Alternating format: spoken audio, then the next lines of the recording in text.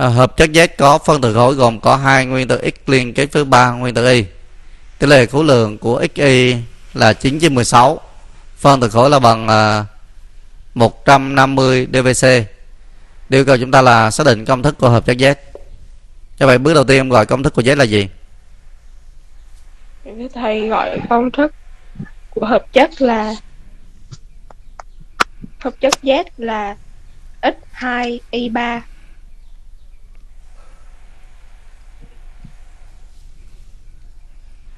trong này chúng ta có 2x với gì 3y đúng không là x2 y3 rồi ok. Tỷ lệ khối lượng của x và y là 9 trên 16 xử lý từ từ thôi.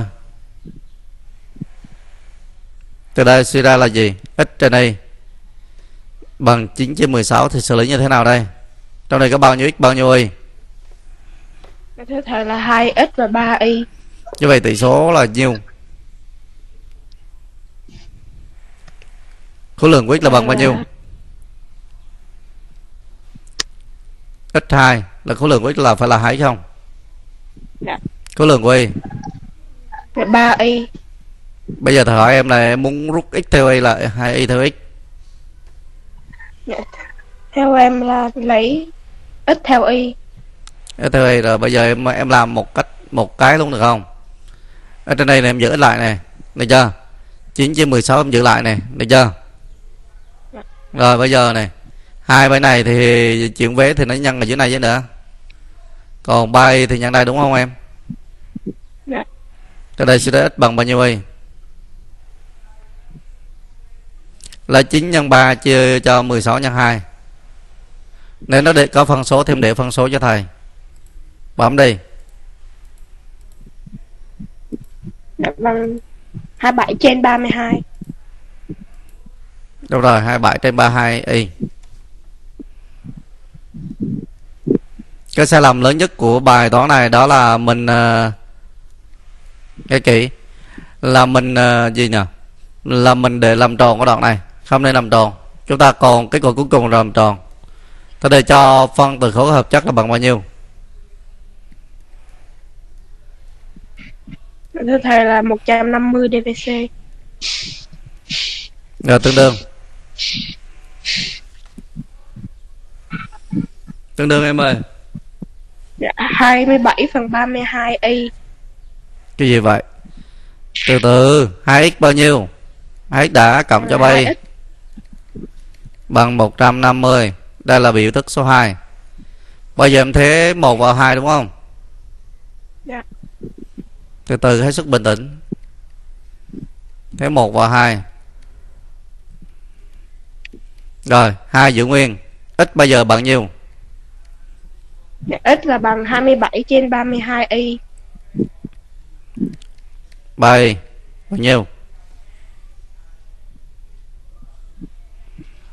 tới đây hiểu không ạ? À? dạ hiểu. Rồi bấm đi.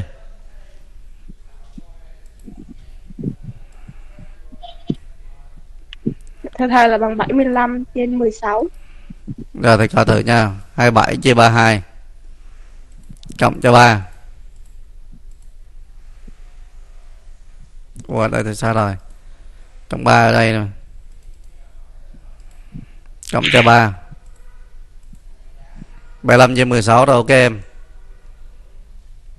75 chia cho 16 y bằng 150 tới đây suy bằng. 150 chia cho 75 trên 16 Thêm nhân cho 16 chia 75 đúng không? Dạ. Rồi ghi cái này cho nó dễ hiểu rồi Tính đi Thứ hai là bằng 32 Rồi thử coi nha. Rồi ok là kiểm tra lại đã.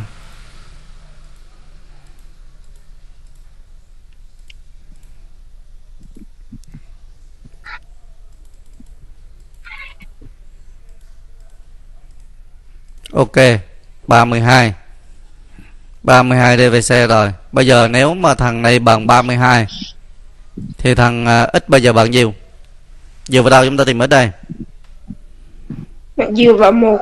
Rồi dựa vào một thì em sẽ x bằng bao nhiêu? Dạ, x bằng 27 trên 32 nhân 32 bằng bao nhiêu?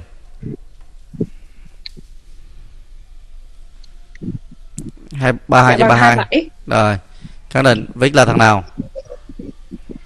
Dạ, x là lưu huỳnh ủa em lầm rồi. X là bằng 27 mà. Em có bị nhầm không? Dạ. Đó là gì? X là al là nhôm. Ký hiệu al rồi y là? Dạ, y là lưu huỳnh. Ký hiệu? Ký hiệu s. Công thức học là gì dạ là al2s3 mình gọi công thức của hắn là x2 y3 đúng không? Mới x của mình là nhôm. Al2 s3 rồi, ok em luôn. Cảm ơn em rất rất rất rất rất rất rất là nhiều nha.